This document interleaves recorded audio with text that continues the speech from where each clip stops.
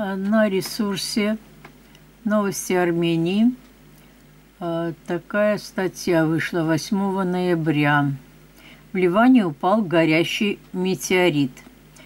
Горящий метеорит упал на севере Ливана в провинции Аккар и вызвал пожар, сообщает Ливанское национальное агентство ННА.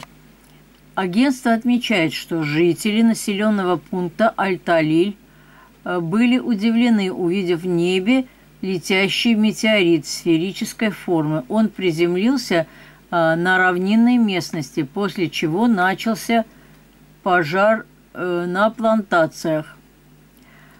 Жители населенного пункта назвали увиденное странным явлением, сообщает РИА Новости.